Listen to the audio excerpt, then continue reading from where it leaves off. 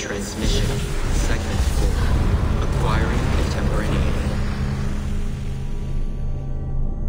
It has been 99 days since the Great Catastrophe. The messenger speaks. On the 21st day of December 2012, Desmond activated the global Aurora Borealis device and protected the Earth from the Sun's deadly coronal mass ejection. On the 21st day of December 2012, humanity carried on without a care in the world.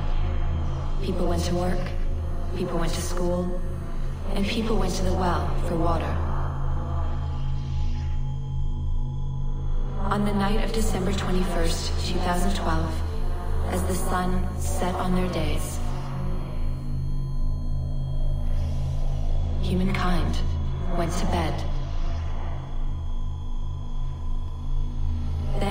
Morning of December 22nd, 2012, humankind was graced with yet another morning. They never knew that on the previous day, the world almost ended. We thought that would have been enough. And it was, until it wasn't. Time is unyielding. It always corrects itself.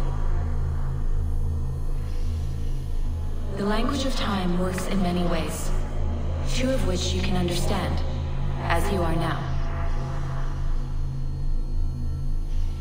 Linear continuity is a simulation that allows for variations. Within the linear continuity, there are nodes, choke points, moments where algorithms converge the flows of superposed possibilities to a single moment, where only one absolute truth is possible. Paths are fluid, continuous.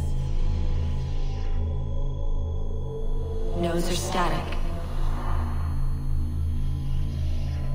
changeless.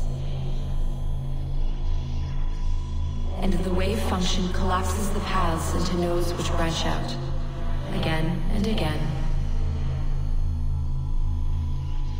and again. And so I wonder, can you feel the wave collapsing, trying to course correct Desmond's act of defiance? The incoming node needs the world to end. The algorithms have been carving the flow of possibilities towards that end for over 100 years now.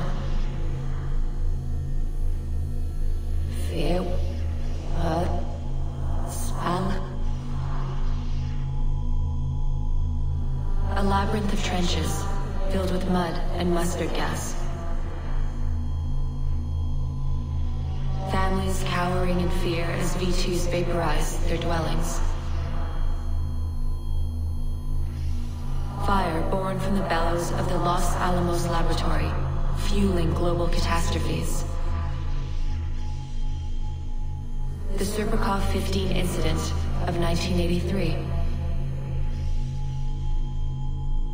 The Doomsday Clock, tucked away in an office at the University of Chicago, its needle moving as the years go.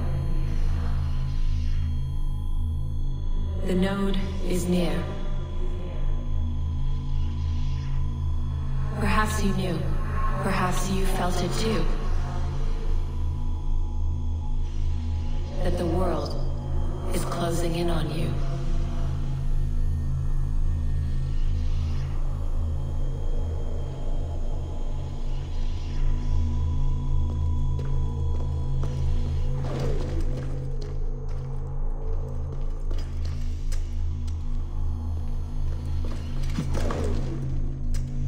Retransmission, Segment 4, Acquiring Contemporaneity.